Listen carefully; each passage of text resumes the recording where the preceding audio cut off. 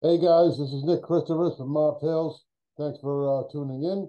Um, please like, subscribe, and share. We definitely appreciate that as our subscriber base is growing. Uh, today I have a very interesting guest, uh, Roger Fischer. Uh, he's he's done um, I don't too, too many things for me to mention. I think. Um, so uh, no further ado, uh, Rog, thanks a lot for coming on. I definitely appreciate it. How you doing, Nick? Can you hear me? Yeah, I hear you now. Yeah. Oh, good. Okay. nice to um, be on your show. I finally, I've read a lot about you and everything. I've been keeping up with you. oh, that's not good. Well, it is good because I know some of the people you you interviewed. Uh, uh, like I said, like I spoke to you before, and uh, Yeah. also you tell me you know Spiro Velentzas, which is he was a big part of my life. And Yeah, uh, that's, that's something I'm very interested in uh, to begin with. Uh, but I want to get the, the audience a little familiar with what you've done and the kind of work you do. Um, Rog has, has been involved in a lot of different aspects of business, uh, uh, from starting a uh, opening a pizzeria, I believe, because you love pizza so much, Yeah. uh, to going into getting involved in film and uh, different aspects of the of the entertainment business. So, um, and and an author as well, uh, which we're going to talk to discuss about the cartel heat. Um, so uh, maybe you could give us a little bit of a breakdown from your time, because I know you spent some time in in New York, and then you uh, moved out to Florida, I believe. Um, maybe you can give us a little bit of a, a history lesson. well, I mean, I started, you know, you know, I grew up in West Virginia, and uh, I mean, it's a long. My, my life is a long story. We don't have that much time. To, maybe I'll tell in the book later. Oh, But uh, you know, I met Spiro the Greek. You know, Spiro is supposed to be the godfather of the Greek, and a lot of people don't really not realize how big the Greek mafia is. It's very, very big. But Spiro, whether he's the boss or not, I don't, I don't think so. I don't, you know, Spiro's like a grandfather. He's a businessman. He's like, like, like a Joe Watts. You ever heard of Joe Watts? yeah, I know Joe Watts. So Joe's a businessman. It's just who he's associated with, and it gives him a name of the mafia. You understand? And Mhm. everybody can say Joe Watts a mob guy. He's not. He's not. He's a big businessman.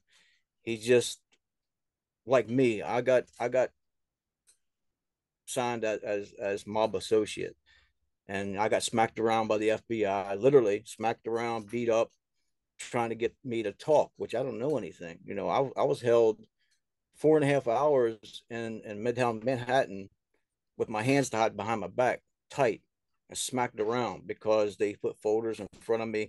I know this. They got pictures of me with Johnny Gammarano coming out of uh, Giovanni's Atrium and a restaurant in Manhattan. I don't think it's there anymore.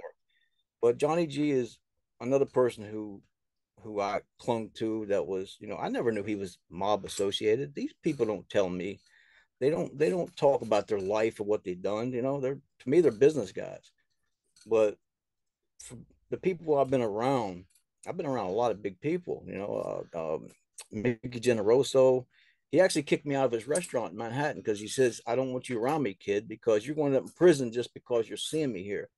So I understood what he means. He said, I love you, but I don't want to see you anymore. It was a love thing. It wasn't, it wasn't, he was mean. He was protecting me. He says he never wants to see me again. That, that meant a lot to me. That was powerful to me. I didn't take it offensive at all. He just, I just don't want to see you no more. When you walk out that door, don't look back because I don't want to see you in prison for the rest of your life because you said hello to me. So kind of hurt, but it, it helped me in my life. Now I realize why I, I can't go around with some of these people because the feds will put you in that category and category you as a mob guy, and you're not. And they'll do what they can to tear you down, to get you to know something, to talk. I don't know anything. That's why I got smacked around by the feds. Um, he's a big. He was. He was in a, a book. Um, I don't remember his name. He was a big guy. He's one that came in. He was an FBI agent who was head of the, the, the organized crime task force. He's the one that had all the folders and everything. He told me who he was, you know, whoever he gets, eh, whoever he gets in his sights, he gets. They're in prison or dead, one or the other. So it didn't scare me. I told him F off. you know, I talked bad about his mother. I got smacked around because I really didn't know nothing. You know what I mean? Well, I'm going to tell him anyway. I wouldn't have told him anything anyway because I did my time. I did federal time. I could have told on these guys. I didn't. I did eight and a half years. Eight and a half years for a dumb crime. But I did it. I took it. I took it over the chin and I did my time. But you know what? My life turned out better when I got out. It did. I was more powerful in my own way. I was smarter. I was a lot smarter. Then I started meeting uh, Jack Stella. Jack Stella is a very good friend of mine. He's not associated with no no mafia at all, but he's a businessman. He's one of the most intelligent people I've ever met, and I've learned a lot from him. That's why I've, I've had a lot of my businesses because of him. And I got my start through Spiro the Greek. He he brought me out of the hills of West Virginia, and it's because of him that I had got a foundation in in in, in New York, and I got to say my success comes from Spiro, and never okay. asked for nothing, nothing nothing from me. You know, he's got he's still got a lot of power on the street. He could do anything for me, but I never asked him for anything. He's never reached out for me. He's not. He didn't have to. I learned from him. I learned the business, the way to approach things and stuff. So I learned a lot from him. And then I got uh, Johnny Gammarano. He was the the Gambino guy. He passed away. He's very he was he was like a he was very close to me, and he's the one who associated me with with some other people, non-associated mob. He introduced me to some big people, so I got to know them, and that's that's how my my business career started off. Was through the mafia, really, you know what I mean? But it's not. I'm not associated. I'm really not. I don't go talking about nothing with these guys about criminal activity, and you know they wouldn't either. You know that they don't talk about that with me. I'm not associated, but they're they're not stupid. But that's well, what we that's what happens to us.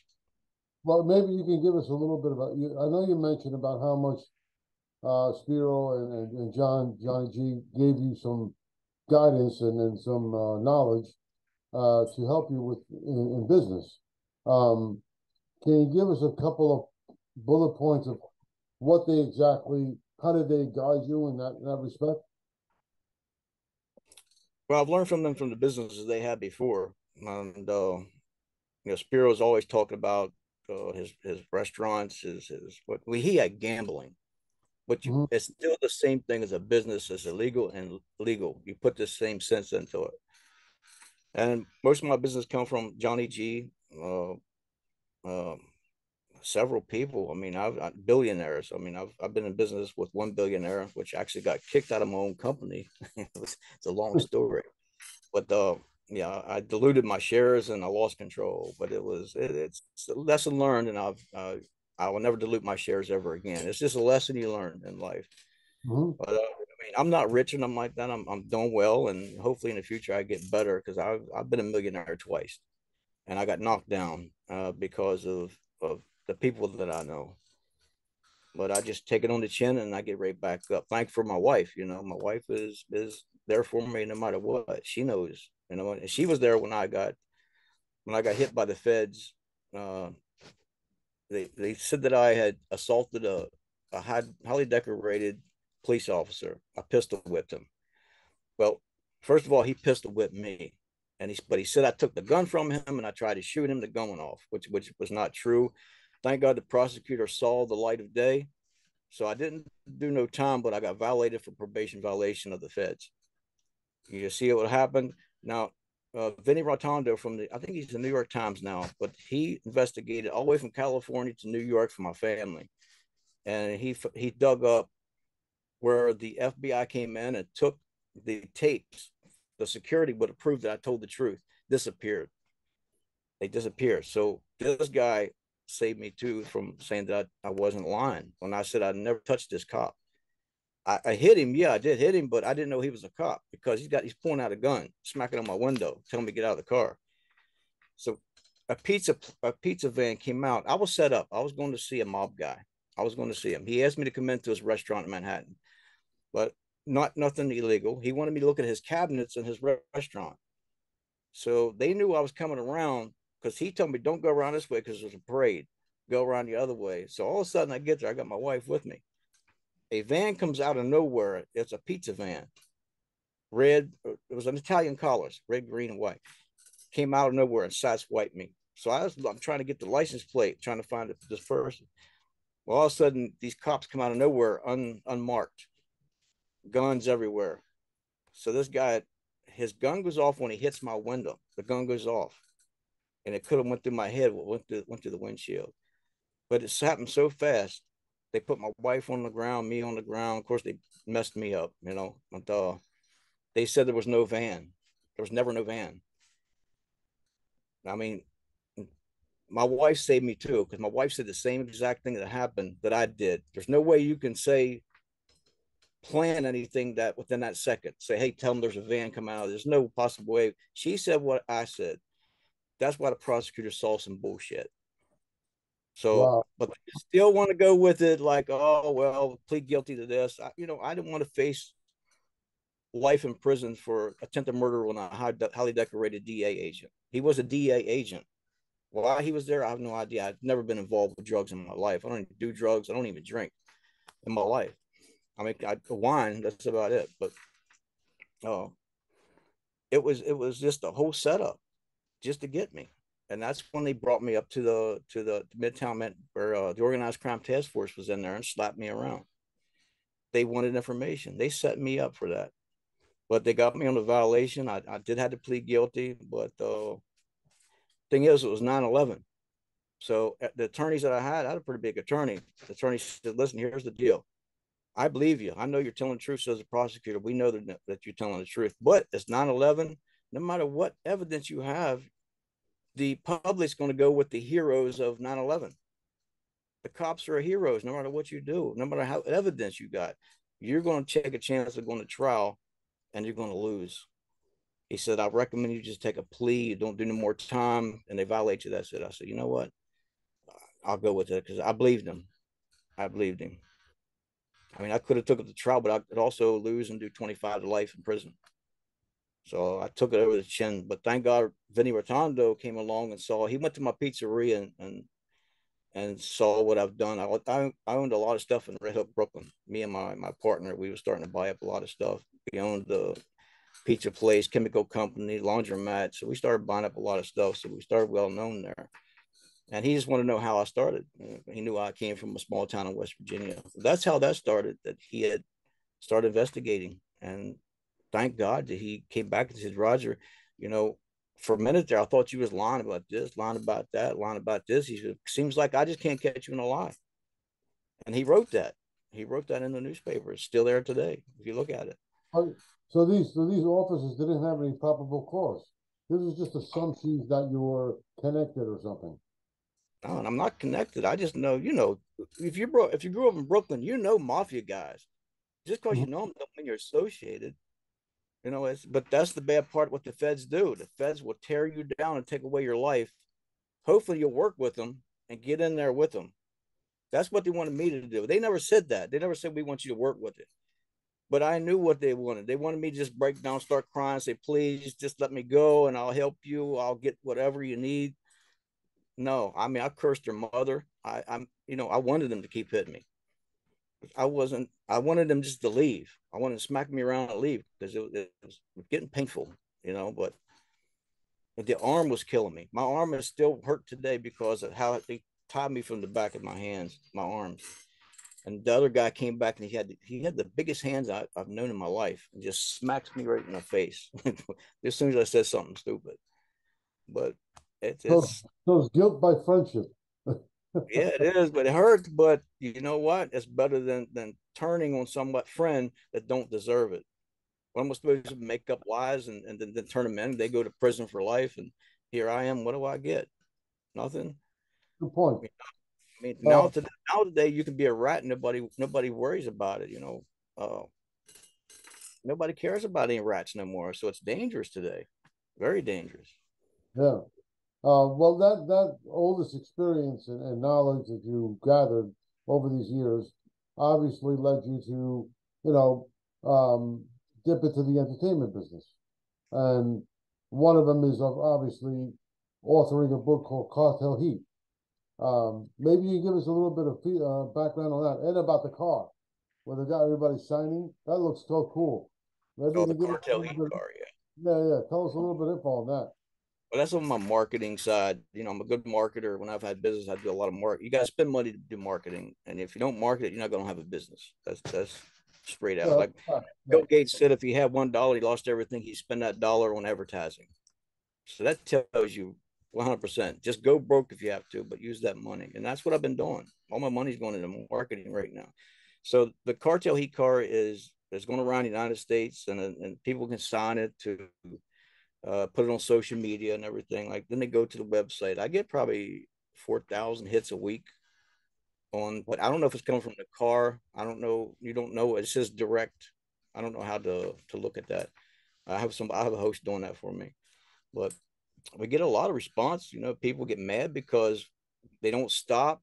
You know, to sign the car. We get. I get cursed out personally. I get an email threatening me. I get, I mean, I make it a joke, you know. what I mean, I said, I'm sorry. I, if I was, I'm driving the car, I'm gonna pull over. I don't care who you got. You can have, you know, four big dudes in the car. I'm gonna pull over and let you sign the car. I don't discriminate. But if a, if a girl is driving, I got young girls driving sometimes too. I don't expect her to pull over some guys in the car somewhere, you know. But they got to understand that. But uh, that's the marketing. I'm doing also a party in Miami on November the 18th. Uh, I'm going to have a lot of celebrities. I know a lot of celebrities, musicians, music producers. I, I own Regulate Records back in New York back in 2010. And uh, I've been in every business known to life, uh, clothing business. But um, I know a lot of people, and I got some people coming. I got special guests. I can't advertise yet until they say yes. I'll be a special guest. Um, I believe I do have somebody right now. He is the uh, Mob King director of the movie Mob King. Oh, Uh, Ciro. Yeah, I don't really know him personally, so I contacted him and said, "Would you like to come to the party?" He said, "Yeah." I said, "Well, I love your movie," and you know, it was a great movie. He did an awesome job. I'm very proud of him. Um, he he- he's going to be there, but I'm going to ask him to be a special guest. I know he will. And uh, Tony Bongiovi, John uh, Bon, jo- bon Jovi's uh, cousin and founder of the Bon Jovi band. Uh, whether he's going to be a special guest, I don't know. But he's a very good friend. He'll do anything for me. He comes to my birthday parties too. Um, Yeah, you've done, uh, you've done some, you've done some work with him, correct? Yeah, yeah, I worked for Tony Bongiovi on a, a reality show, um, not no music, but reality show production. He's doing um he's doing a he's doing a movie right now. I don't know what it is right now. It's I think it's uh, animation for Christmas, Christmas animation. He's uh, looking for investors now, so he's on the investor side right now. But it's it's interesting though. But I'm not involved in that. I used to be, but I got out of that because I'm doing my own thing and I can't keep working for people. And but Tony's like a brother to me. He'll do anything for me. I actually met Tony Bongiovi back in Sony Music 19. Oh, I can't remember, but he actually remembered. He actually remembered. But uh, when I first met him, he says he does remember. But uh, he's a good guy. He's he's helped me out a lot in the industry. Now, if I was in the music business, I'd be okay. But I don't need the music business now. But he's in the production too now. He's also a good inventor. He's uh, invented a lot of stuff actually for for sound and everything. He's a sound engineer. He's got his music in airplanes, private jets, and everything right now. Wow, okay. Well, you know, Uh, like I said, if you tell us a little bit more about Cartel Heat, about the book. The book is going to be out November the 18th. Um, it's it's the mafia, the New York mob guy meets the in the federal prison of the cartel boss uh, from Mexico. He's actually born in Colombia, but he was moved to Mexico after the Escobar stuff uh, problem, and then they, and the, the Mexican cartel moved him to Miami to take over. But he ended up in federal prison eight years. He did eight years. So as the the mafia guy did eight years. So they was bunkies. They got to know each other, and they said, "Well, you know," he said, "You want to make a lot of money? You don't make money being a mob guy. You're killing." He said, "Come with me. I'll make you a million dollars a day." So that's what he did. They they got together in Miami when they got out of prison, and this it's nothing but body bags. It went wrong. It ain't just making money. They're killing more than they're making money. It's life. It's really life. It's not, you know, that kind of business is, murder. Yeah, You kill a lot of people. They got to take over their their their their territory, just like you had to do. You know, when a, a big guy goes to prison, you lose power. You get back out, you got to take over the power again, and that's bodies. People disappear, chopped up, and it's called John the Butcher, which I take from a friend of mine. You know, it's his real life, but it, I can't mention his name. And he got a lot of bodies. He's killed a lot of people.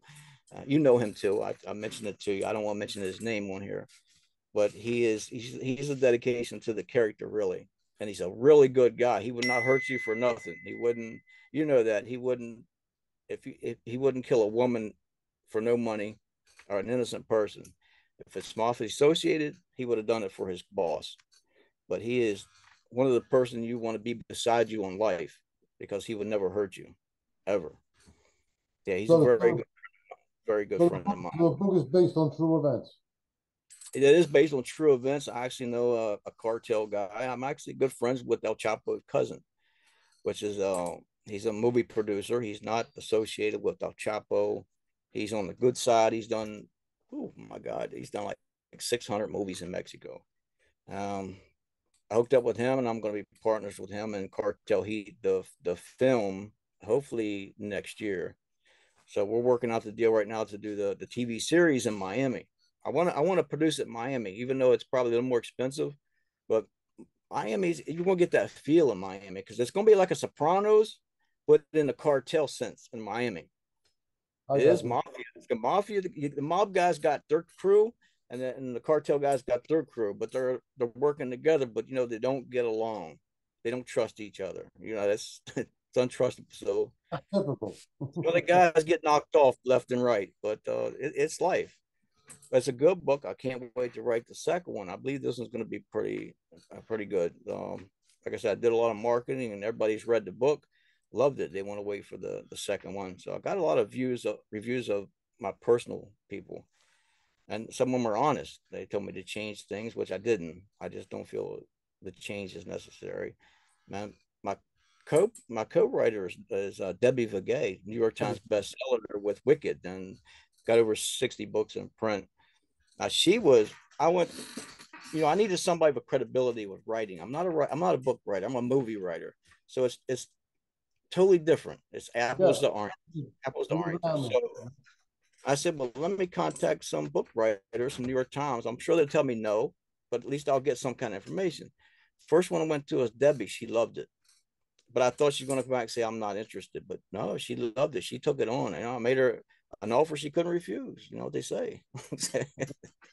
without violence or without threats. But uh, she's great. Uh, I've become fr- friends with her and, and uh, Dr. Viguié. And uh, we're like family now. You know, I, when I go to Florida, I take him out to dinner, the, my appreciation, because he does a lot for me.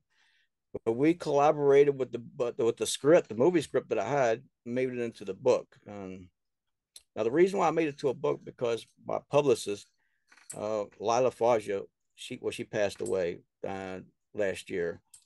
Uh, rest in peace. Um, she was Steven Spielberg's publicist before me, and she retired, and I brought her out of retirement. I, I, I begged her really, um, but because I needed her her connection and her her experience.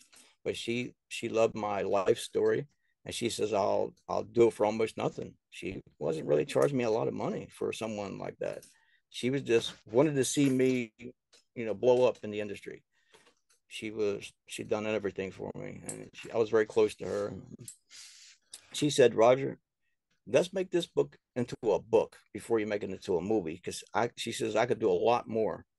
So I said, all right, but I'm not I'm not a book writer. She says, well, you wrote a movie, you can write a book. Well, she's wrong, but I could probably, I could probably write the book. I don't have time, Nick. I don't have time to sit down and do all these things. I'm, I got so much I'm doing.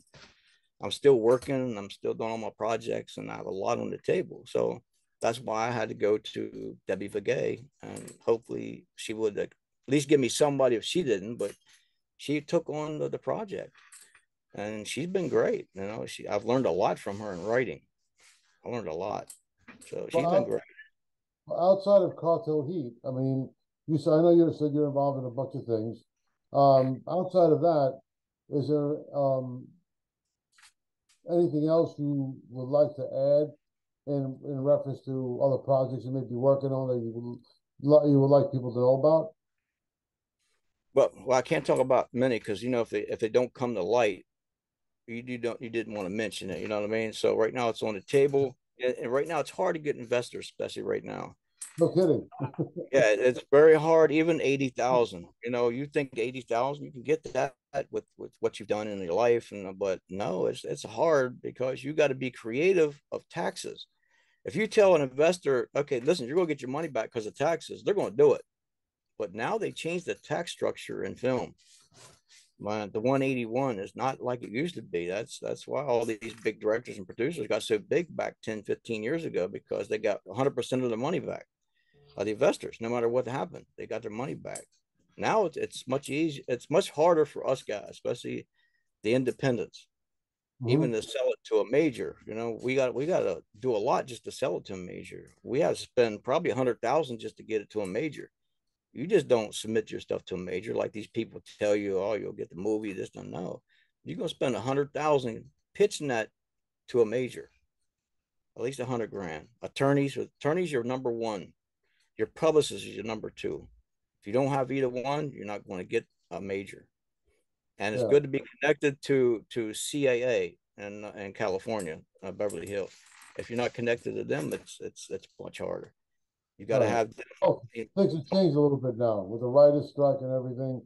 Uh, the indie, I think the indie indie market, uh, guys like you and I, I think we're gaining some steam and gaining some ground. Where I think the big studios are going to suffer in the long run. I think. No, I don't think so. No, they'll they'll never suffer. Yeah, their their structure is set up to not lose. They can't lose. I know the structure. Mm-hmm. Um, you know, what they make they said they make a movie for a hundred million dollars. It doesn't cost them a hundred million dollars. Cost them sixty million dollars. it does, but it, it, it doesn't cost that money. But it's the same you do as as independent.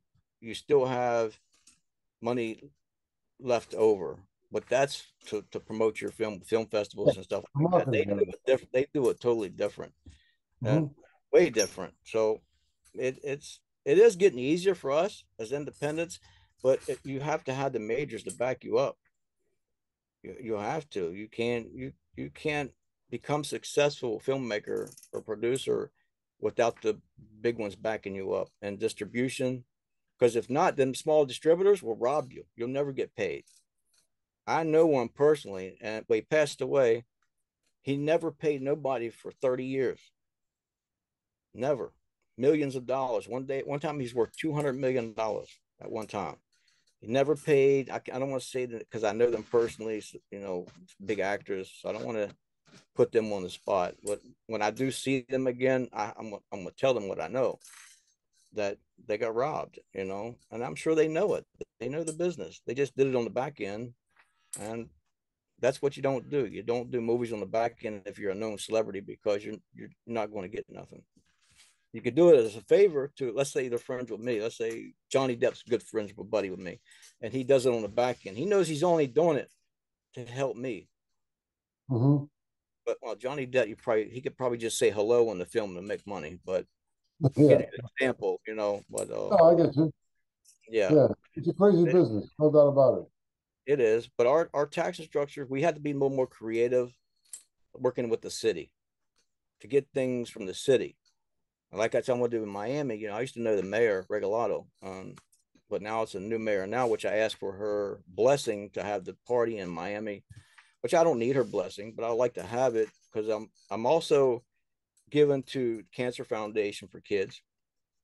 Uh, because in the book there is there is messages, cancer awareness, uh, school bullying, uh, crime doesn't pay. There's all kinds of messages in my book, and Major was the the I put the cancer in there because my wife had breast cancer twice, but she beat it, and she's good. Okay. Know?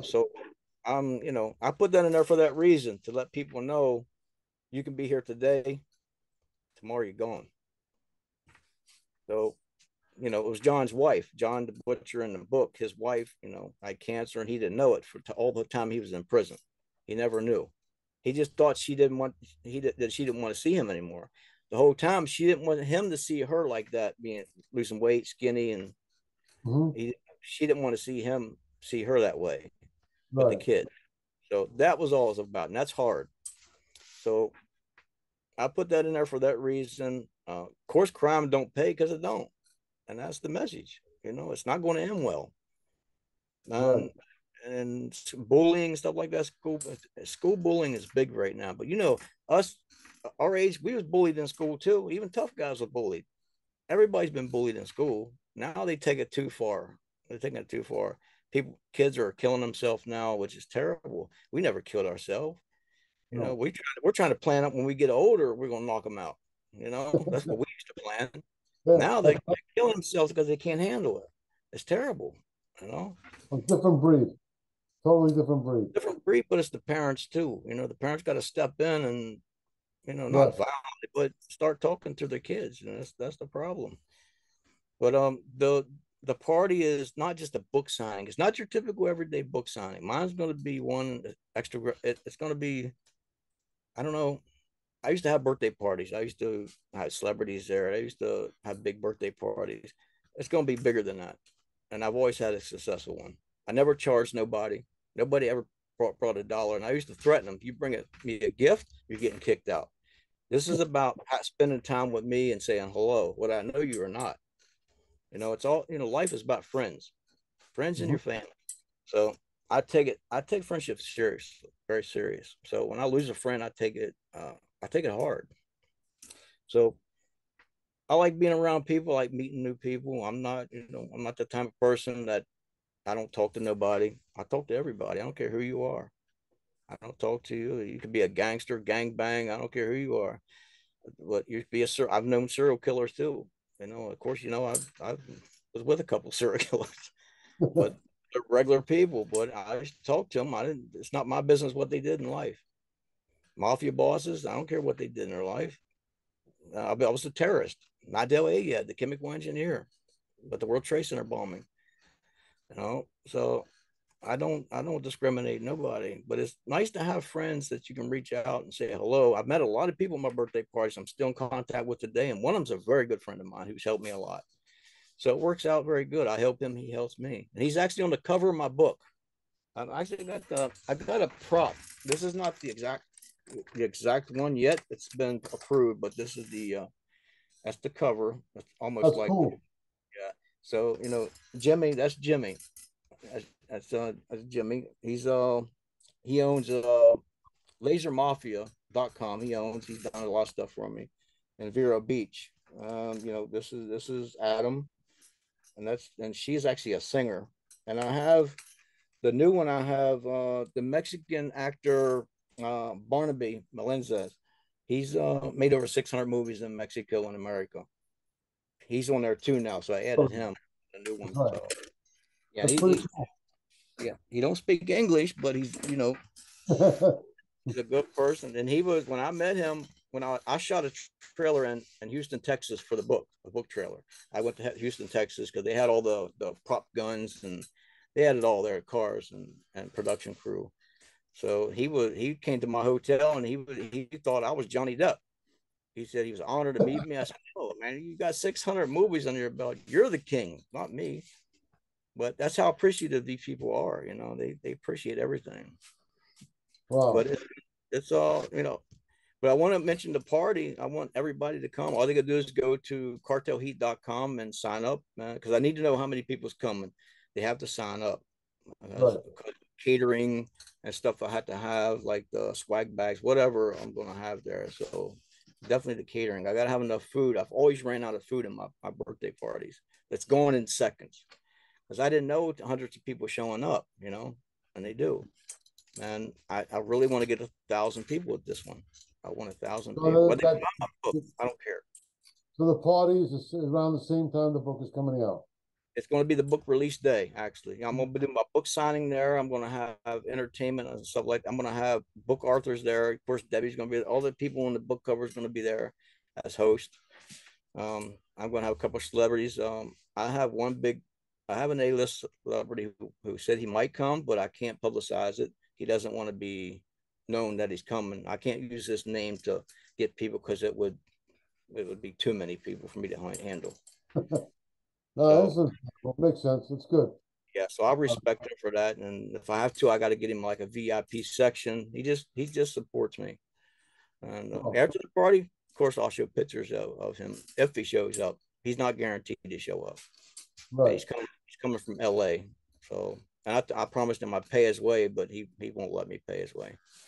Oh, that's nice of him. But Um, hopefully, hopefully some of your listeners will come. They're in Miami or whatever. This is gonna be it's gonna be a blast, man. It'll be a blast. cool. Um, well, Roger, look, I, I know the, uh, our time is coming up. Uh, I definitely appreciate you coming on. Uh, I'm definitely interested in the book myself personally. Uh, definitely want to get it and, uh, read it, of course. Uh, hopefully one day we can, uh, we can meet in person. That'd be pretty cool. Uh, but I do want to wish you a lot of luck and hope everything works out and that everybody, and people can check out, uh, the book and everything at, uh, where, where would they go? What, what website would Uh, they? cartelheat.com. You go cartel and Oh, all my social media is on there and everything. I got Instagram stuff. So you just go to cartelheat.com, make it simple, and you can see all the Instagram stuff and Facebook stuff on there. I got personal business and I got my publishing company. I just started capeandnightpublishing.com too. Um, but you go there, you can get on the Facebook page and everything. Cause I'm still this place here was built for publishing company that I just started. This is temporary right now. So I built this because of the, the, the big publishers like Simon Schuster that they're partners with the, my publishing company. They're they're bleeders. They will bleed you dry. They don't care about you. So you know what? I'm taking offensive. I'm going to start helping people that can't afford books and and working out some kind of creative way to they can get their book out. Oh, that's good. We need some more like that. Uh, well, thank you, Roger, once again. I appreciate it. And, uh, we'll still stay in touch, of course. I'll see you in New York, Nick. No, sounds good, buddy. Dinner's on me. Thanks, Roger. Nice meeting you, buddy. Take care. Too. Bye. Well, thanks, guys, for tuning in to Nick Christopher's and Mob Tales. Please share, like, and subscribe. See you next time.